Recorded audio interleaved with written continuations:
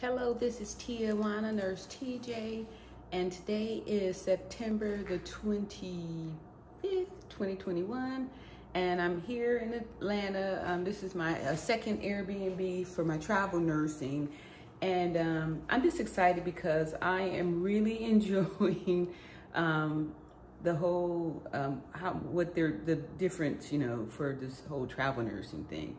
Um, this Airbnb looks a lot nicer. However, um, it's it's not as nice. The the building isn't kept up as nicely as the other one was. Um, this one's a little um, kind of dingy on the on the grungy side. Um, but um, yeah, that's what happens when you're in a big city because there's a lot of you know, stuff on the outside and, um, but you know, they charge you up a lot. So I'm gonna um, show y'all some clips of the unit when I got here. Um, there was a few things that, like the reason why I won't be booking here again. Um, with the Airbnbs, um, some, you know, these are personal businesses, so it's not like it's a, a big company. However, some people do have multiple Airbnbs, which I'm excited because um, I want to buy a property in uh, Montgomery that's really close to the Air Force Base and start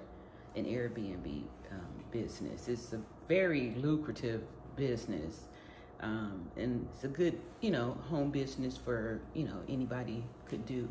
However, some people are not really good at it. Like I think this one, it feels, it feels like it's somebody's apartment. Like, um, you know, the kitchen is full of food in the refrigerator. Like I just opened it, the one y'all see on the video, and then closed it back and I haven't done anything up in there because I don't feel comfortable. It's not, I mean, it's like it's, it's like somebody's house with, you know, food that's open and, um, you know, stuff in there. So I, I don't feel, you know, like I was in the other one where I was cooking, you know, it looked like it was an actual, you know, a unit that was made for that. It wasn't like, I didn't feel like somebody actually lived there. I felt like it was just guests coming to, you know, stay at the Airbnb. Not here, feels like this is really, you know, somebody's apartment. Like, so, um, and the only reason why I didn't make a big stink or leave or, you know, try and find another spot is because um, you know, as soon as I got here, it was my night to work and I was doing a lot of stuff. Um, got a colonics. I should have videotaped that. yeah. Um, a colonics and some uh, ion foot cleansing. I'm, you know, trying to detox and do the right thing. But anyway, um, the money is tremendous. I've never uh, earned, generate this amount of money before in my, uh, my entire life. So, um, grateful for the crisis and grateful for COVID and all that good stuff because it's been a very wealthy year for um, nurses all around. Even, you know, um, facilities are giving their own staff nurses, you know, bonuses, extra 50 bucks an hour on top of their, um, you know, rates. So um, now, is, you know, it's a great time to be a travel nurse. Get your um, multi-state license and you can, you know, move and groove wherever you want to go. Um, so I'm going to give you some clips of the apartment, and this is more kind of a like a lifestyle. Um, like I said, the, the, apartment is great. It looks great. It's just that um, it doesn't look like it was freshly cleaned. Like you know, it took housekeeping to come. It looks like you know whoever has it, you know, keeps the place up, you know, or or they're organized, but it's dusty and like I said, that refrigerator with all the fingerprints on it and the food off up in there was not a, I just, I, I was not happy with that. Enjoy the Okay, so first impressions, very, very pretty. And here it's my next Airbnb.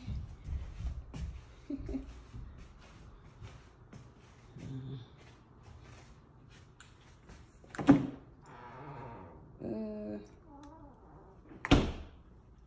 Hmm.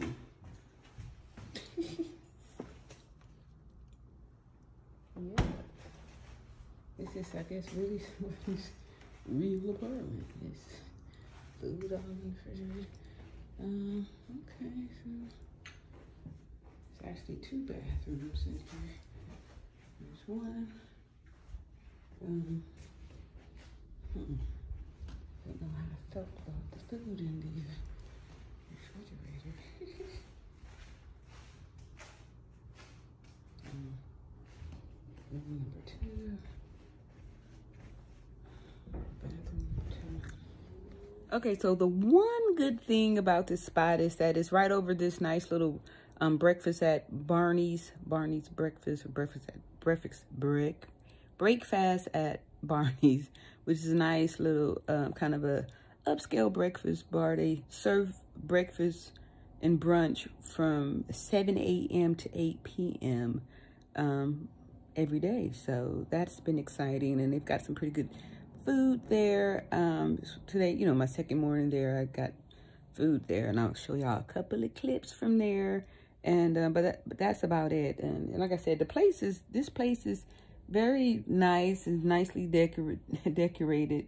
But um, if you're going to start an Airbnb business, you got to be a little bit more in tune with, like, as far as, like, when people check out, there needs to, you need to have, like, real housekeepers, people that's going to actually, like, wipe off all of the surfaces because things, you know, like, here's this beautiful little chandelier, but there's no light bulb in there. so, I mean, just little things like that. If if I hadn't, you know, working, you know, we work 12 hours, um, and, you know, if I, you know, I would, would have probably complained or, you know, maybe not been as happy, but since I'm just basically coming here to, um, take a shower and sleep and go back to work, um, kind of letting it slide. And like I said, um, I already had those, the first earlier, you know, with the negative thing with the uh, Airbnb.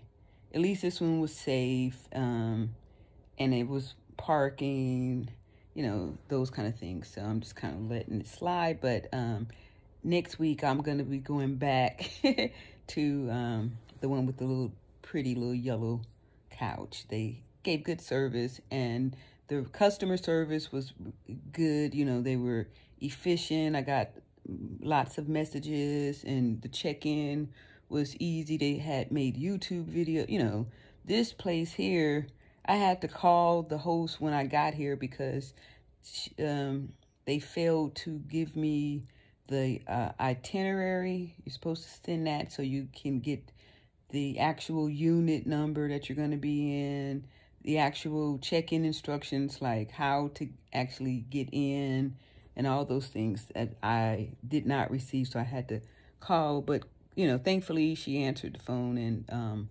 walked me, it talked me through it and stuff, and then um, sent the the message. But um, otherwise, you know, it's like trial and error. So that's it. Enjoy the rest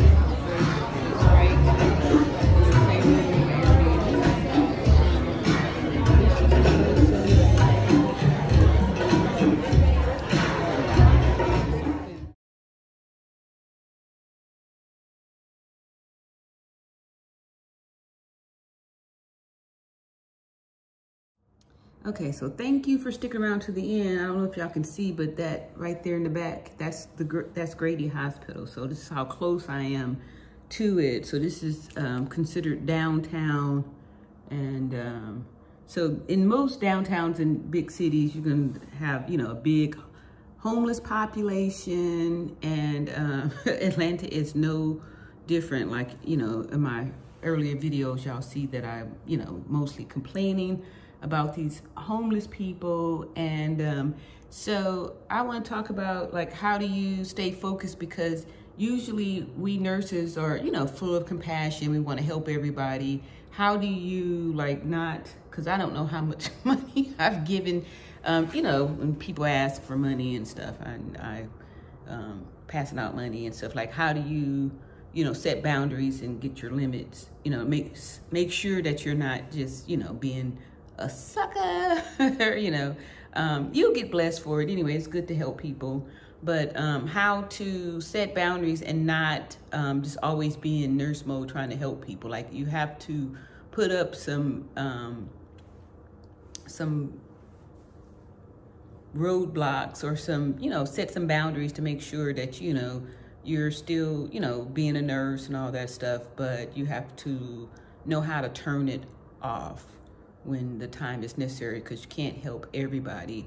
And some of the people, you know, not all, but some of the people are um, homeless by choice, you know, because of their lifestyle or what have you. But anyway, um, and uh, so uh, thank y'all for watching and um, leave some questions and comments. And I do have some personal questions that I ask. And maybe my next video will be like a Q&A on um, travel nursing, the pros and the cons. Like, you know, um, getting to a new facility. And like I said, like y'all see how big Grady is over there. Um, and getting one day, not even a whole day, but a few hours of orientation and then all of a sudden, boom, you're expected to hit the floor and um, take patients to CT on vents. And I mean, this all kind of, you know, ridiculous stuff. So you have to learn how to set boundaries on that too, because, you know, it's still your license that you got to take care of. Even though you are a traveler and you're there to help, you have to set boundaries because they'll, you know, try to give you stuff that's impossible or not safe. You know, it's like if I barely know how to get from the parking structure to the unit, why would you send me with a patient on a ventilator and a ventricular, uh, I mean, all kind of, you know, drips and um, things to try and fi hopefully find my way to CT and no. And if something goes bad, um, I don't even know how to make a call for codes or any of that kind of stuff. So, you know, um, yes, you are expected to hop in there quick. Um, however, you know, you have to know your limits and what you're capable of. So anyway, uh, thanks for sticking by. If you haven't already, like and subscribe and leave some comments. And we're going to talk some more about, um, I, I like this travel nursing for now anyway. Peace. Love ya.